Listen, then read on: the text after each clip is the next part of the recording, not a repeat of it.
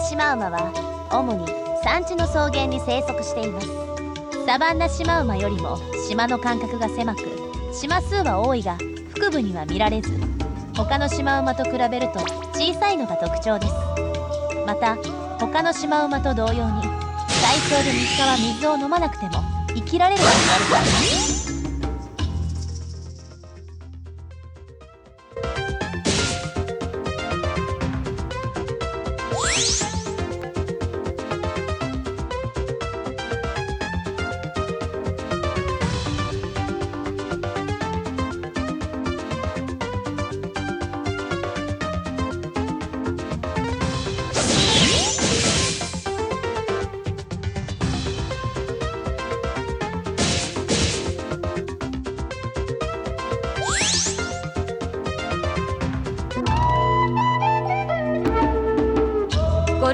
カバはすでに絶滅してしまったカバの一種で現存するカバよりも大型です。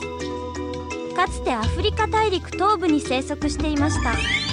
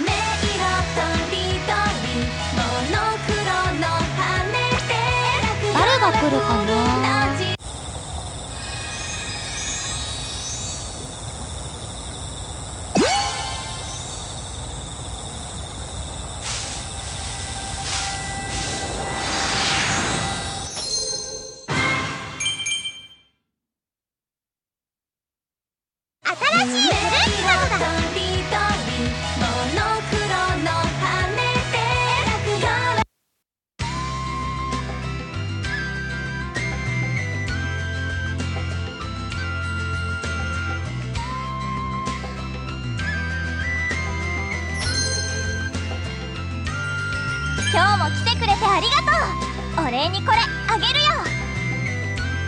明日も来てくれたらこれをあげるね。